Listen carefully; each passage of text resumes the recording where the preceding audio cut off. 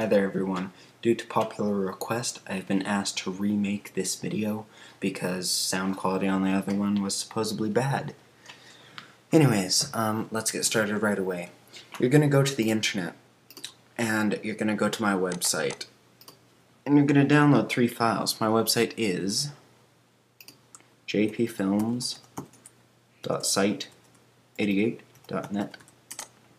That's my website click the Free Files tab and download Resource Hacker and Replacer. Once those are downloaded, go back to Google or go to Google and type in UX theme, no spaces, UX theme, and download the third one down. Download UX theme patch for Windows XP Service Pack 2 Final. If you have Service Pack 3, I'm sorry, you're screwed. Once you've downloaded that, go back to your desktop and there should be all three. They're in zip files. Unzip them all. First step is to go to, not any of them, but actually go to Start, Run, and type Resources, R-E-S-O-U-R-C-E-S, Resources. Then go to Themes, and then you'll see a folder called Luna. Right-click, Copy, right-click, Paste. Rename that folder whatever you want. Once you're in it, you'll see a file called Luna. Rename that whatever you want. Now, move that folder, move that folder aside and open Resource Hacker. And then open Resource Hacker, the program. Once it's open, you'll see it over here. Drag your new named luna.msstyles into it. Pop! You'll see it here. Expand the tree called bitmap. Scroll down, you'll see blue, homestead, and metallic. Blue is obviously blue, homestead is olive green, metallic is silver. Under the homestead one, you can edit whichever one you want. I'm going to do homestead because I barely ever use it.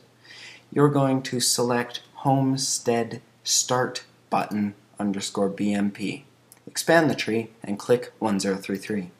You'll see, oh look, there's three different start buttons. First one in that list is the one you see when you're not touching the start button at all. Second one is hover over. Third one is click. That's how that works. Right click 1033 and select save bitmap homestead underscore start button underscore BMP and save it to the desktop as start. Doesn't have to be named that, you can name it whatever. After you've got that, minimize resource hacker and minimize the whatever folder and you'll see start on the desktop double click it, you can see it is a photo. Now you're going to edit that. I recommend a program called PhotoFiltre. It's available also on my website. It's either number like 10 or something on the free files. Anyways, go there and download it. Edit the picture to be your new start button.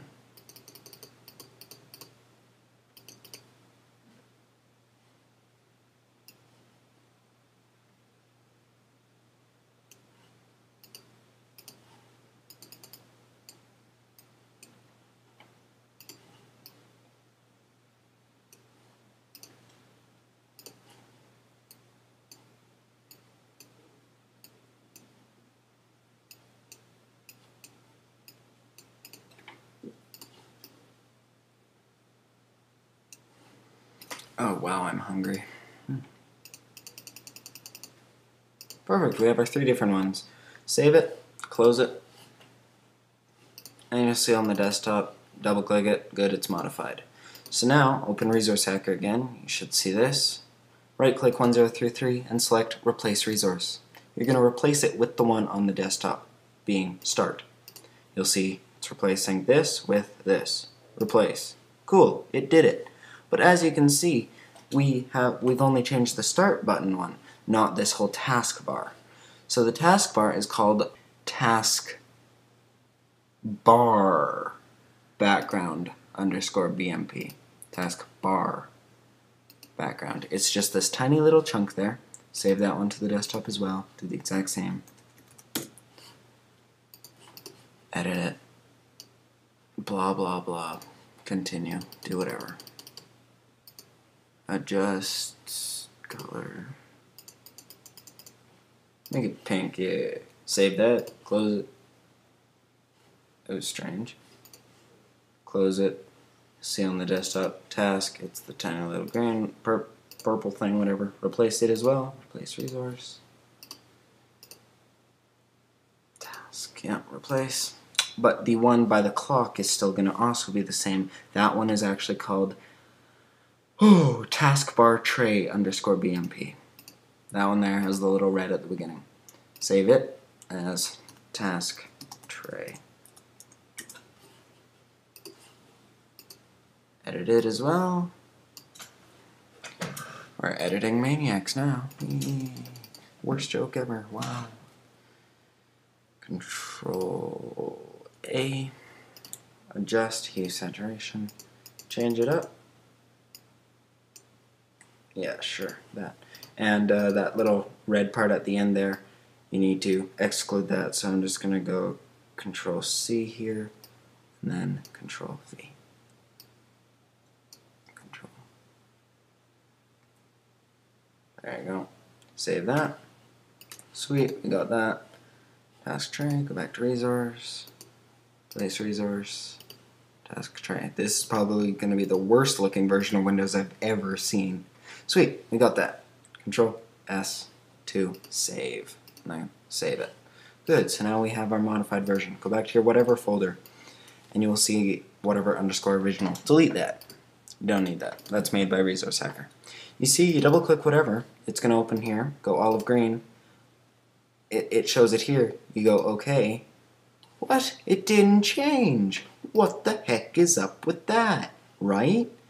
Well, that's why we downloaded the patched UX theme file and resor and replacer.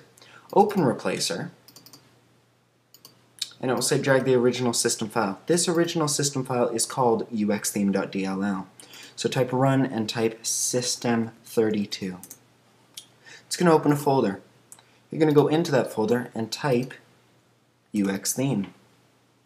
You see it there, uxtheme.dll. Make a backup of it just in case because people's computers have gone wrong in the past. Good, we've got it. Now you're going to go back to System32 and drag UX theme into Replacer. Hit Enter. Now drag the replacement, being the patched file, on the desktop in this folder. Drag UX theme. It says, yep, enter. Cancel. Enter here. It says you're going to be replacing System32 UX theme with this one, UX theme. Continue. Yup. So type Y, enter. Done. You should see a message quickly pop up, then go away. Like that, right there. Went away. That's telling you, yeah, pretty much succeeded. So close that, close that, and now you have to reboot. So while you reboot, go make a coffee or something. Mm, or, better yet, probably go play Halo or something like that. So as you're booting back up here. Good, sweet, we booted. Now, start, run, go to resources, resources, themes, and double click whatever, and double click whatever. You'll see it here. We're going to tell it go blue, apply. It's not going to do anything. Go olive green, apply, and boom, chicka waka waka boom. Blah, blah, blah. Yay, it worked. It worked. It worked. It worked. It worked. Ta-da. So that's how to do that. And uh, mess around some more in that UX theme file. And just make sure to image your computer often. I like the program Acronis True Image. You can mess. You can totally give yourself a virus, do whatever you want, and uh, restore it back exactly how it was. Thank you for watching, and uh, talk to you later.